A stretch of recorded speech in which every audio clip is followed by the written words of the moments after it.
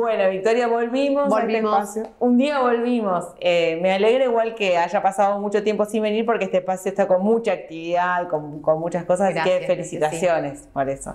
Bueno, se viene el Día de las Infancias y hay un, gran desafío porque los chicos piden un regalo, hay mucha publicidad comercial respecto sobre qué regalar. Entonces pensamos, bueno, pensemos a ver el regalo de una manera que el regalo nos ayude a estimular positivamente el desarrollo de nuestros hijos. Así que vinimos con la psicopedagoga a preguntarle qué podemos regalar en el Día de las Infancias. Bien, qué linda pregunta, qué linda fecha. Eh, para conmemorar las infancias y tener en cuenta que está buenísimo agasajar y hacer un regalo, eh, pero bueno, pensar con qué objetivo también vamos a hacer ese regalo, corrernos un poco del lado del consumismo, tratar de, brindar lo que ellos quieren, porque tampoco es que nos podemos hacer como el ideal, ¿no? Ir con esta mentalidad y con lo que uno proyecta y que a ellos no les interese, porque a veces pasa. Entonces, como responder a la demanda, al interés del niño, de la niña, qué es lo que le gusta, qué le gusta jugar,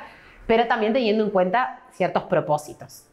Bien, ¿Y, en qué me tengo que fijar? De acuerdo a la edad, ¿hay determinados eh, regalos o juguetes que son mejores? Que, por, dónde arranco a pensar o a mirar? Sí, está bueno tener en cuenta esto, que eh, todo el desarrollo es paulatino, entonces siempre está bueno esto lo de juego de encastre, para las primeras infancias. Ojo, esto que sea para las primeras infancias no quiere decir que un nene más grande no lo puede usar, sí, o sea, no hay, no hay, nunca hay una edad límite.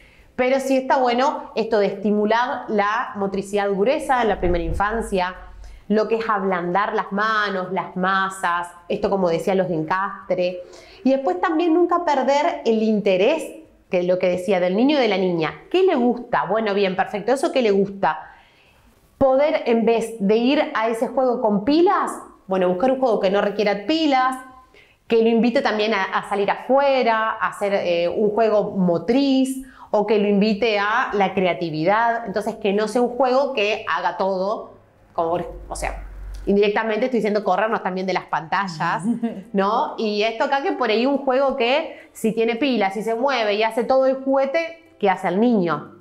Entonces, ¿Cuál es, el rol real y concreto del juego y del acto de jugar en, la vida de los, de los niños, digamos? En la vida de las personas, podemos decir. Ah, Porque jugar podemos jugar toda la vida. El, juego no, nos debería acompañar eternamente.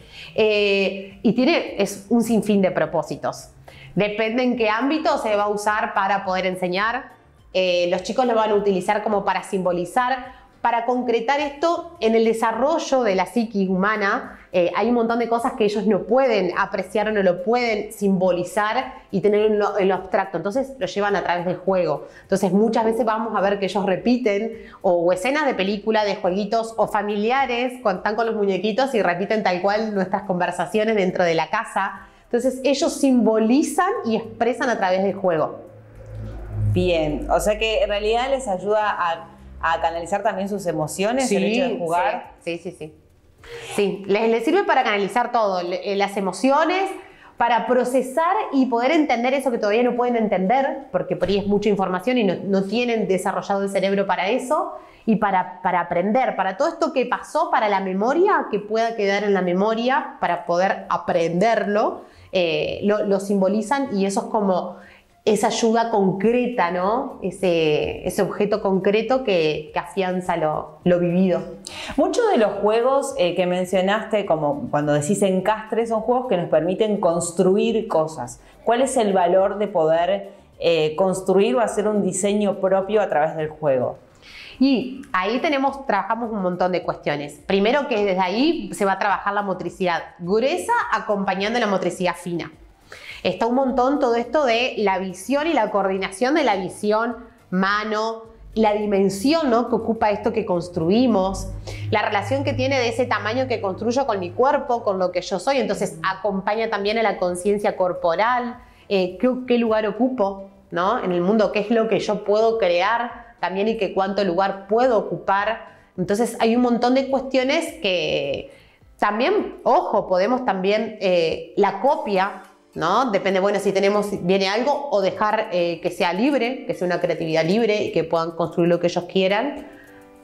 Bueno, eh, un poco este silencio porque me quedo pensando también en los juegos de antes, me da, un poco de nostalgia, saltar la cuerda, el elástico, la rayuela, ese tipo de juegos son válidos en el presente, ¿qué, era lo que nos daban y que hoy pueden seguirle dando a los chicos hoy?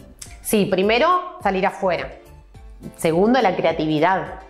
Eh, hay un sinfín en, este, en estos juegos, ¿no? Es como que llegamos a un punto que nos aburríamos. Y hoy por hoy el aburrimiento está como tapado, como que enseguida no. Es un segundo, un microsegundo que sienten aburrimiento y ya listo. Tenemos una pantalla, la tele, la tablet, el celu, eh, la consola de juegos. Entonces, esos juegos de antes nos, nos daban ese lugarcito a aburrirnos y el aburrimiento trae de la mano el el tiempo de empezar a pensar, a crear, inventar algo nuevo. También aparece la necesidad del otro, digo, el, juego también. es eh, vinculación y aprender sí, sociabilizar, sí. ¿Qué pasa con, la frustración y los juguetes? Digo, porque también en estos, en los de construir y en los que permiten socializar, hay que enseñarles a los chicos a manejar la frustración, hasta en las cartas. Sí, sí. Que también. Sí, y los turnos. Los, turnos, las reglas. Em, una recomendación que siempre hago, ¿no? Porque es, muy común esto que dicen, ay, sí, pero me cambia la regla sobre la marcha. O sea, tienen una viveza que sobre la marcha te van cambiando y decir, bueno, a ver, dejar las, las reglas claras de juego, porque también esto, ellos tienen que enfrentarse a eso. No de una manera forzada, porque tampoco vamos a, exponernos algo que ellos no están pudiendo eh, procesar y manejar esta frustración. No, bueno, no vamos a insistir, vamos a ir por otro lado, que ellos van adquiriendo esta herramienta. Pero si bien eh, hay ciertas reglas para el juego y ellos la cambian, decir, bueno, entonces, ¿va a ser esa regla? Listo, empezamos de vuelta. Incorporar esa regla que pone el chico, pero que sea para él y que sea también para el adulto. O sea, para todos los que estamos jugando, que sean las mismas reglas. Bien, juegos de mesa y cartas, entonces también son regalos válidos. Sí, sí, sí. ¿Qué pasa con los regalos que en algún momento hubo una mirada muy fuerte sobre los regalos que eran eh, eh, sexistas, juguetes que eran sexistas, como eh, cosas para nene, cosas para nena? Se va perdiendo, pero en algunos lugares todavía persiste eso. ¿Qué pasa con esa cuestión? Sí, yo creo que también es respetar esto acá. Volvemos al interés, al interés de, de la niña, al interés del niño. Bueno, si a la niña le interesa eso, bárbaro. También hay un montón de niños que les interesa y permitir y bueno, por ahí correrse, tratar de correrse un poco, o cuanto a los colores, pero bueno, también, si le gusta el, rosa, y bueno, ¿por qué no vamos a ir a eso? Tampoco no imponer este deseo que tiene el adulto, porque es otra mirada, imponérsela tanto, sino que vaya siendo algo eh, respetuoso con, con la infancia. Bueno, si le interesa y le gusta, tampoco forzar demasiado tiene que ver también con otras cuestiones, como uno lo va acompañando. Bueno, la evolución social también, supongo, ¿no? Porque si el juego sirve para entrenar o, establecer roles, los roles de, este presente no son los mismos que los de antaño vinculados al, al sexo femenino masculino. Sí, sí, también, bueno, va en el interés, o sea, el niño también va a buscar, puede ser que muchas veces copie, ¿no? Y que vaya por ese lado y también están en el interés propio y que, que uno debe respetar y no dejar de educar ¿no? Con, los principios que tiene uno. Bueno, acá se abre una grieta con esta pregunta que voy a hacer.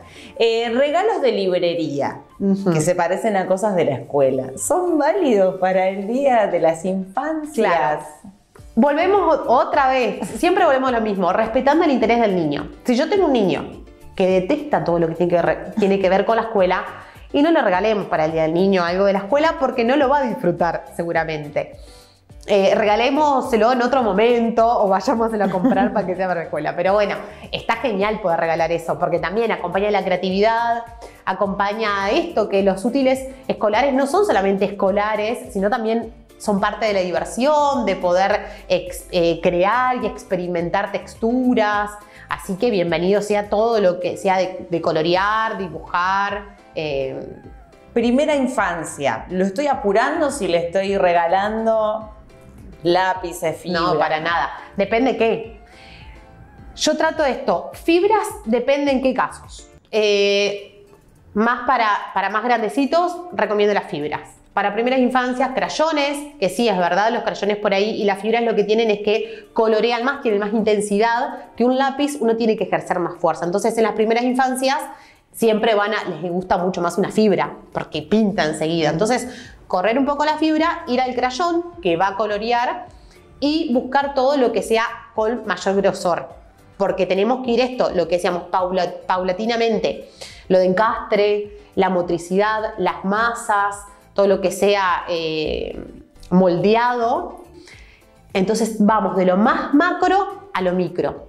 Por esto lo que sean crayones o lápices gruesos para la primera edad, para después ir pasando a algo más finito. Bien, me tengo que preocupar, esta pregunta es para charlar otro tema largo, pero me tengo que preocupar por el agarre del lápiz eh, o del lápiz o del crayón en la primera infancia. Me tengo que preocupar por cómo lo agarra, por cómo toma el... No, eso se va a ir trabajando poco a poco, por eso. Eh, es muy probable que por ahí lo agarre de una manera eh, no correcta, no, si le damos algo muy finito. Por eso ir más a lo grueso para que vayan trabajando esto de lo del trípode. Son estos tres dedos los ideales para el agarre del lápiz. Bueno, ahora voy a cortar y te voy a filmar cómo se agarra, entonces nos queda bien claro eso. Victoria, muchas gracias por este recorrido por el juego y por los juguetes y ojalá que, que alguien tome la decisión después de esta nota. Bien.